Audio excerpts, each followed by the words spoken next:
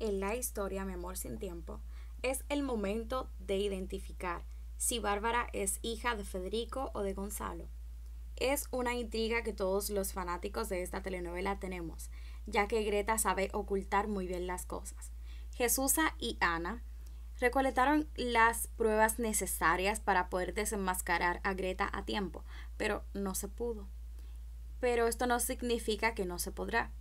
Jesusa estaría dispuesta a tomar nuevamente los caminos que tomó buscar todas las informaciones desde cero, aunque en este, en este momento será más difícil para ella, ya que la misma Greta se va a encargar de que se le haga difícil, de que se le dificulte encontrar todas tantas pruebas que se necesitan para poder confirmar si Federico y Bárbara tienen la misma sangre, son la misma familia, pero hay algo más simple, algo más fácil que es la prueba de ADN.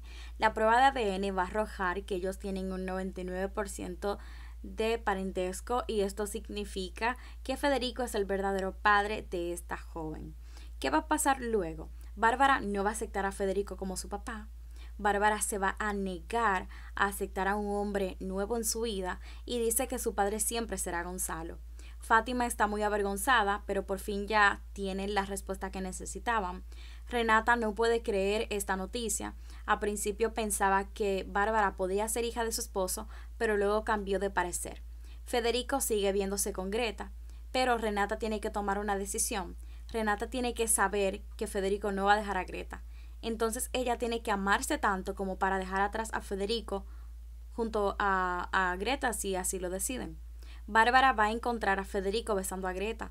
Aquí es donde los rumores, los pensamientos, las ideas de Bárbara van a iniciar y se van a potenciar muchísimo más porque va a ver a su mamá junto a este hombre y las ideas de que ellos están juntos van a multiplicarse al mil. Así que en esta historia vamos a ver cómo Bárbara por fin tendrá la respuesta que tanto necesitaba. Y ella es hija de Federico. Así mismo como lo acaban de escuchar. En la historia Mi amor sin tiempo, muchos cambios, muchas cosas van a suceder. Pero el punto es que tú te estés disfrutando de todo lo nuevo que viene en esta gran etapa de la historia Mi amor sin tiempo.